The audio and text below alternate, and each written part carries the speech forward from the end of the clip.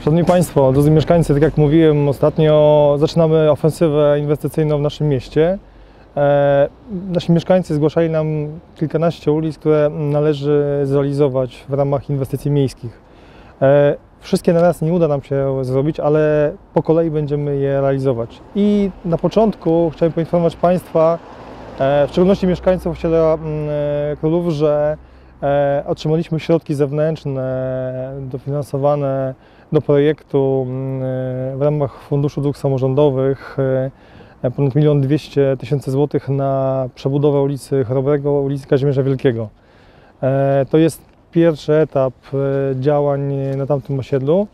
Mm, Jednocześnie, jednocześnie zaczynamy realizować projekty budowlane na przebudowę wielu ulic na tamtym osiedlu. E, Posłużę się e, tutaj notatką, bo tak naprawdę jest ich naprawdę wiele i e, zaczniemy mm, projektować. Już ogłosiliśmy postępowania. Wierzę, że za chwilę wybierzemy wykonawcę. Jest to ulica Królowej Jadwigi, Zygmunta I Starego, Zygmunta II Augusta,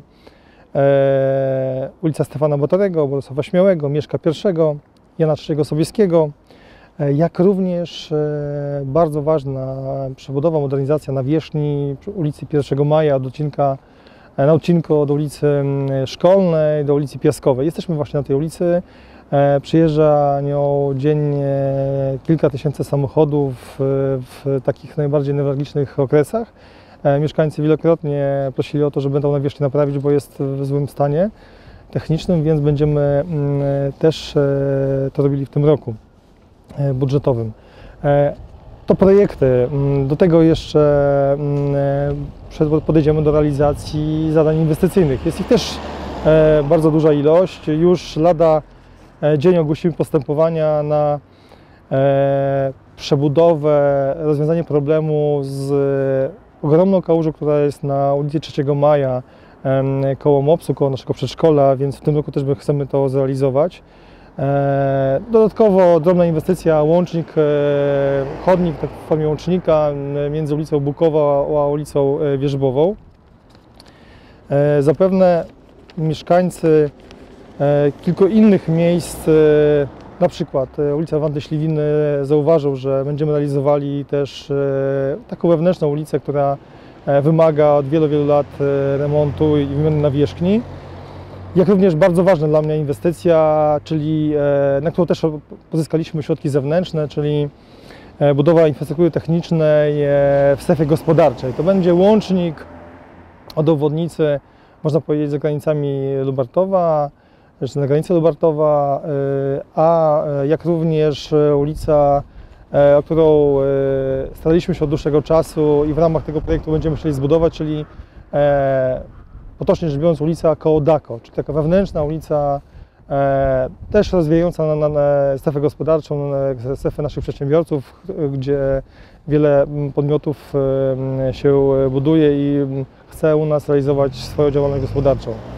E, A dla młodych, a dla młodych mamy projekt, z którym zgłosili się nasi mieszkańcy e, do mnie w zeszłym roku, czyli Pamtrak, który powstanie mm, koło e, ulicy Mucharskiego, zaraz za parkingiem e, przy boisku sztucznym, więc e, naprawdę w tym roku e, w naszym mieście, jeżeli chodzi o inwestycje, będzie działo się dużo.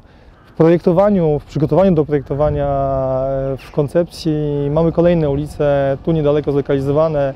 E, Chciałbym e, w niedługim czasie ogłosić postępowanie na projektowanie ulicy Lawendowej i wielu ulic, które są za szkołą podstawową nr 3, które wymagają e, nawierzchni.